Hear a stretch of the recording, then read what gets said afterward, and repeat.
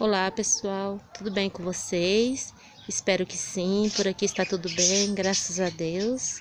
A paz de Cristo a todos. Hoje, pessoal, vou estar fazendo um vídeo, tá?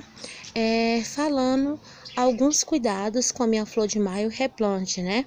É, como vocês sabem, é, ano passado postei uns dois vídeos da minha flor de maio florindo bastante, né? Elas nem estão aqui, que eu retirei, que eu vou mostrar o que, que eu vou estar fazendo, né? Aí elas não estão aqui. Aí eu vou mostrar o que, que eu vou estar fazendo para vocês e falando alguns cuidados assim, né?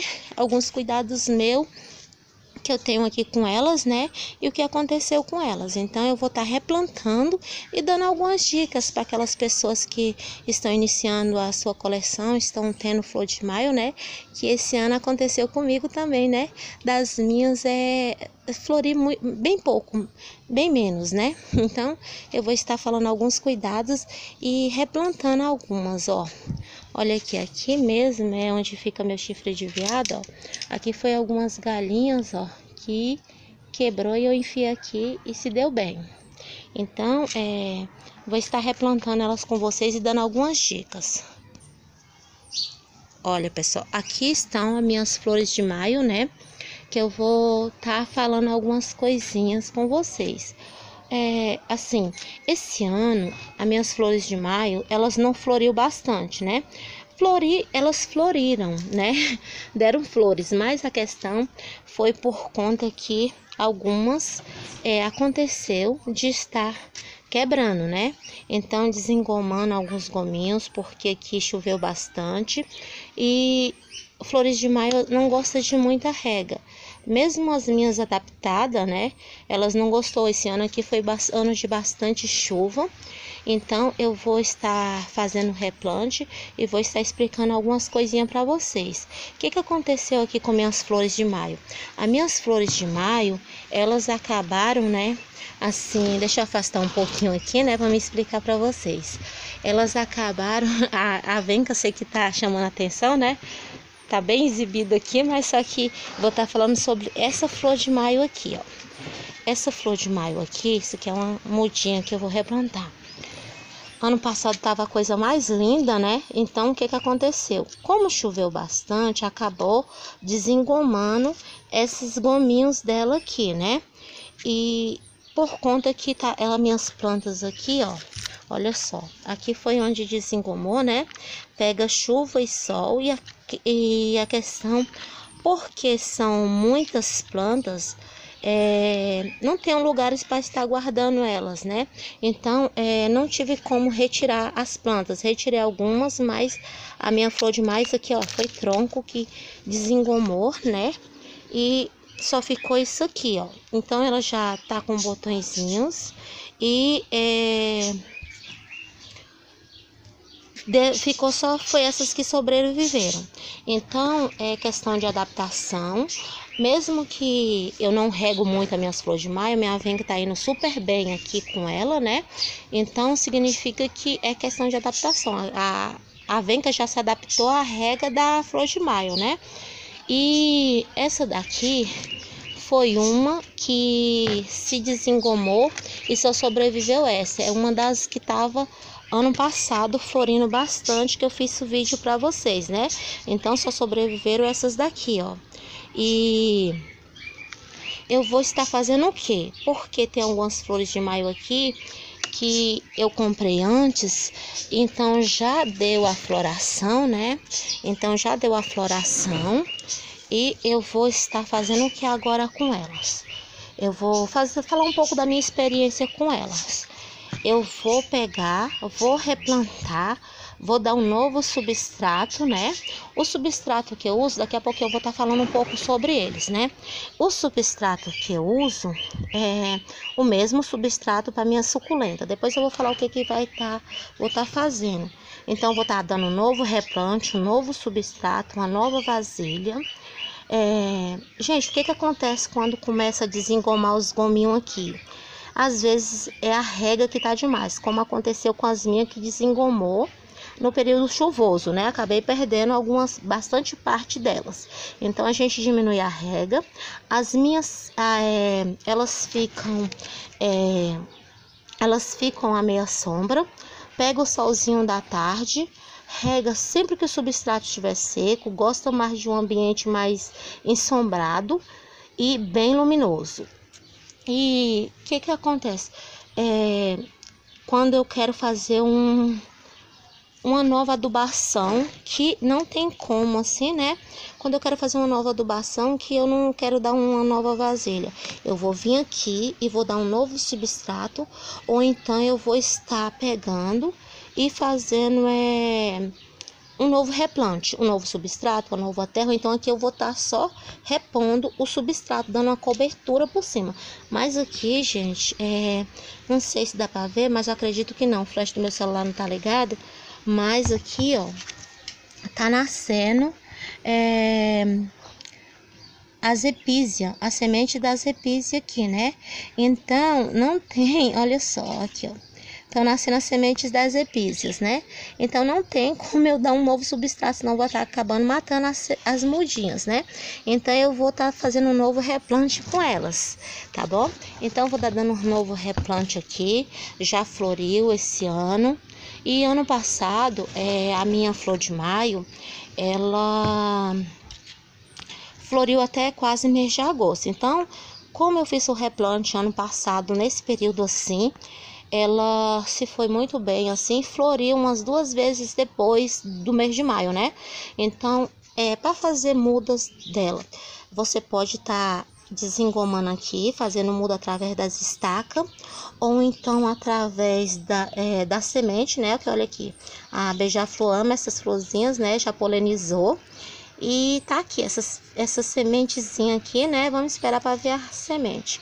Então, a, a beija-flor já polinizou, pode ser através da semente, o desenvolvimento é bem mais lento, mas, ou então através de estacas, né? Pode estar tá vindo aqui, desengomando aqui, ou então aqui assim e replantando, tá bom? É um substrato bem drenável, um substrato que não, as plantas não gostam de...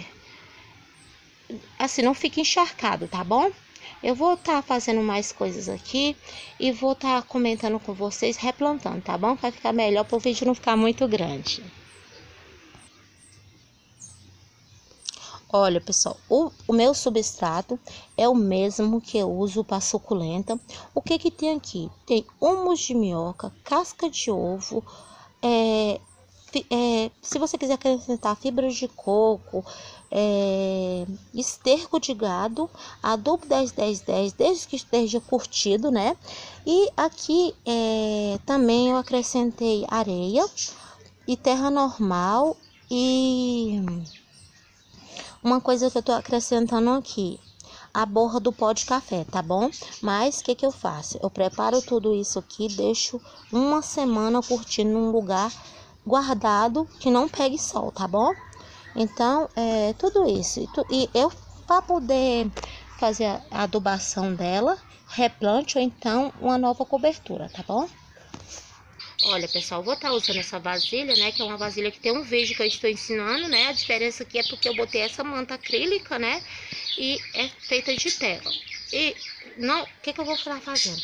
Não vou estar tá botando a drenagem, porque a manta já vai dar uma boa drenagem.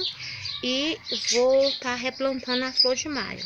Gente, às vezes a pessoa pode perguntar assim, ah, mas e se eu não tiver é, esse tipo de adubo aí, ó. Aqui, ó, na época eu replantei junto com vocês, ó, eu coloquei carvão ao fundo. Dessa vez eu não vou estar tá colocando, eu coloquei para dar uma boa drenagem. Então, vocês podem estar perguntando assim, é, o que, que, eu posso estar colocando se eu não tiver esse adubo? Vocês também podem estar usando um adubo líquido, pode ser o Forte Cactus, para cactus suculenta. Aquilo que vocês vê, que vocês tiver costume de usar, que fizer bem as plantas de vocês, tá bom? Fertilizantes assim, líquido também, se não tiver o substrato, tá? Para dar um reforço. Aconselho não ser em período de floração, em período que ela terminar de florir, e depois vocês vai estar tá fazendo esse novo replante ou então essa nova adubação, ou dando uma cobertura, ou com fertilizantes líquidos, eu vou estar tá colocando assim, né? Não vou estar tá colocando a terra aqui por cima, por conta dessas, desses filhinhos que estão nascendo aqui, né? Da epísia. Meu celular não tá com a com flash ligado, então não dá para me mostrar bem que o tempo não tá ajudando, né? Então eu vou replantar. Vocês vão perguntar para mim, ah, mas não tem perigo de estar tá dando, replantando ela agora? Não, o perigo de estar tá replantando ela agora é só por conta que ela já floriu, né? Mas tá só com esses botõezinhos aqui, gente. Agora, quando vocês comprar ela em supermercado, chegar em casa, gente, vocês não já vai logo dando uma nova vasilha, um novo substrato, não. Porque senão vai acontecer delas acabar é, cair nos botõezinhos. Então vocês esperam, adapta ela ao novo lugar, ao novo ambiente. E aí depois vocês vai poder fazer o que eu vou estar tá fazendo aqui o novo replante, tá bom? Então essa daqui eu já tô replantando, depois eu vou tirar aqui, né? Com borrifador à procura dos filhinhos que estão aqui, né? Então eu vou estar tá amarrando, ó, e vou estar tá mostrando para vocês. Por quê, pessoal? Eu vou tá é, fazendo isso? Porque ano passado eu fiz um novo replante com essa mesma aqui, né? E ela se deu muito bem, ela floriu novamente. Então vocês podem também as florzinhas que tiver murcha retirar assim retrocedendo, ou então pode deixar para ver se vai conseguir, né? Que elas fiquem a semente. Olha, pessoal, isso aqui são tudo mudinhas que eu tava enfiando, que tava quebrando no período chuvoso. E agora eu vou estar tá replantando nessa bacia aqui, ó. Essa bacia, ela já tem isopor ao fundo e a manta para ajudar a dar uma boa drenagem, tá bom? Então vamos replantar. Essas daqui, pessoal, são umas que eu mostrei. Ainda tem esses três botõezinhos aqui. Vou fazer o replante, né? ainda tem alguns botõezinhos, mas vou fazer o replante assim mesmo, mesmo com risco de ter o medo de abortar, né? Mas vocês não façam se o botãozinho estiver bem mais maior, que pode acontecer o risco de vocês acabar perdendo todas as flores logo quando compra, vocês não façam isso, tá bom? E também questão da, de estar tá murchando, vocês podem estar tá também regando, é, assim, borrifando, né? Água nas folhas para poder ajudar, né? Porque vai ajudar a hidratar um pouquinho mais. E também, é, quando estiver murchando, vocês também podem, se não tiver com flores, vocês podem tirar, olhar o substrato, né? E olhar o que está acontecendo, se não tem nenhuma cochonilha, se as raízes não estão apodrecendo, né? Que para ver se aqui, ó, que tá bem enraizado. Não vou desmanchar o torrão, porque eu tô na esperança que ela vá florir, né? E a gente pode estar tá observando, como aqui não é o caso de estar tá murchando, né? Foi o caso das quebras das galhas. E essa daqui é uma que tava aqui já um tempinho, aguentou chuva, né? E tá aqui, eu tô replantando para ver se ela, dá, se ela floresce, né? Ainda esse ano aqui. Essa outra aqui é uma outra, eu não sei mais nem as cores dela, olha só, ela tá soltando raízes aqui, então muito fácil de fazer a propagação dela, gente. Através desses gominhos assim, né? E através da semente, acredito que na semente é um processo mais lento. Então, olha só, as raízes dela.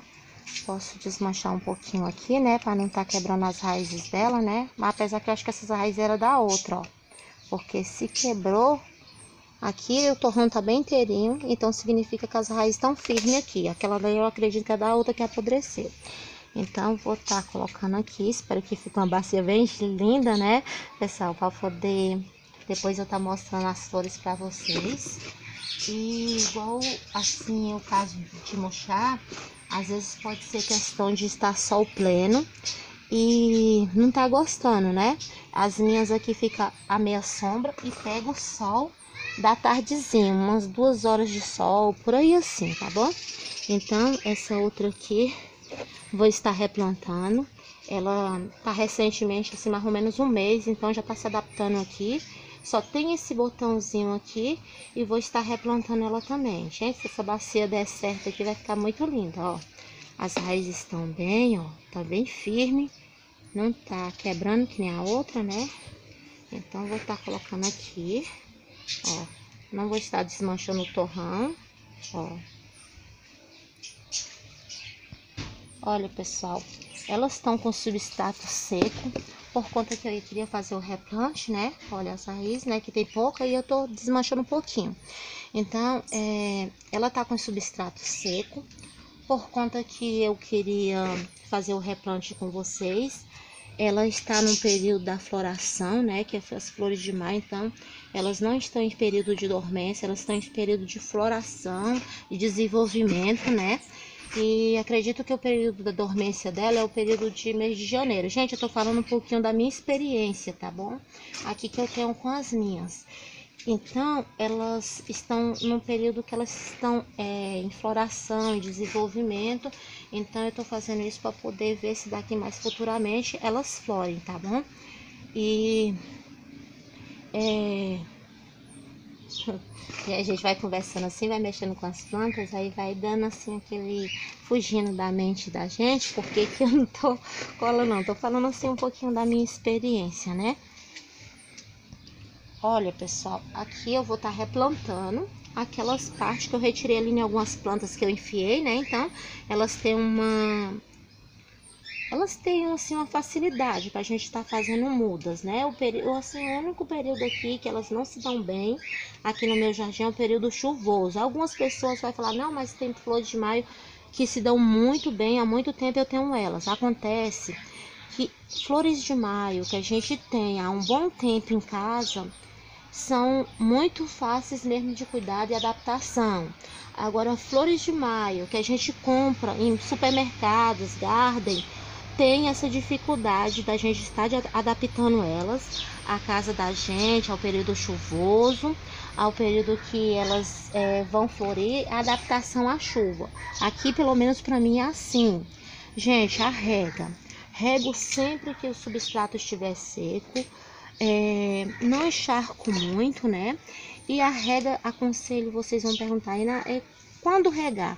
Sempre que o substrato estiver seco, vai depender da sua região. Se é um período muito quente, se é um período, se é um lugar muito seco, ou se é um lugar assim, muito frio, né?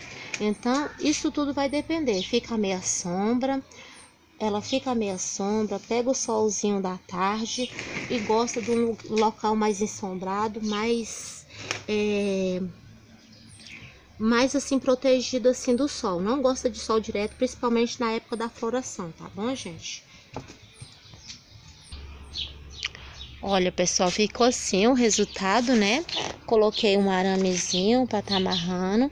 Se eu vou regar, vou regar sim. Caiu um pedacinho. Desculpa aí, gente, o barulho. Se eu vou regar, vou regar sim. É, evitaria estar tá regando se ela tivesse desengomando. Olha, pessoal, o resultado deu esse, né? Como eu tava falando, o vídeo tinha parado, gente, falta de memória no celular. Eu tava falando sobre a rega. Se eu vou estar regando, sim, vou estar regando. Só não estaria regando ela é, se fosse caso de estar desengomando. Então, era uma coisa muito assim é, que eu ia aguardar de dois a três dias depois do replantio, né? Então, como não é o caso, que eu tô só dando um novo substrato, um novo replante, para poder ela tá é, vendo se futuramente vai florir, normal, né? E essa daqui também, ó, botei nessa vasilha, tudo. Então, depois futuramente vou estar tá mostrando o resultado para vocês, tá bom?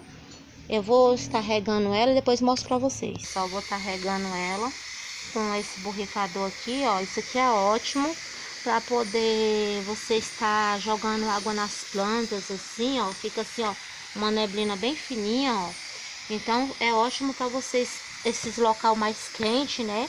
Para poder estar tá, é, regando as plantas, borrifando nas folhas, né? Que vai ajudar bastante a hidratar algumas nos períodos quentes, porque agora aqui não tá tão quente, mas futuramente vai estar assim. Então, eu já comprei esse daqui, eu tenho um mais grande, né, um mais maior e é, vai ficar para mim ficar molhando as plantas, a venca nesses períodos mais assim, tá bom? Então, pessoal, espero que vocês tenham gostado. Quem gostou, deixe seu like curte, compartilhe, se inscreva, aperta no sininho para estar tá recebendo notificações de novos vídeos. Eu só tenho a agradecer o carinho de todos vocês, que Deus abençoe a vida de vocês grandemente e até a próxima e tchau!